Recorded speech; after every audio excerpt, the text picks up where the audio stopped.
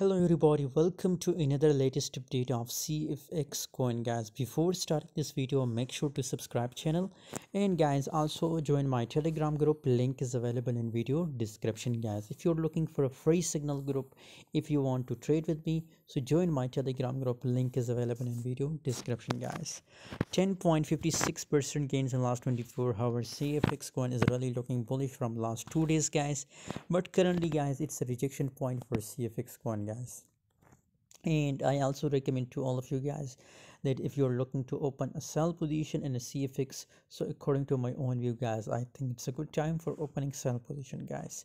Because currently it's on uh, on resistance level guys. And if you look here the volume updates volume is also looking bearish guys.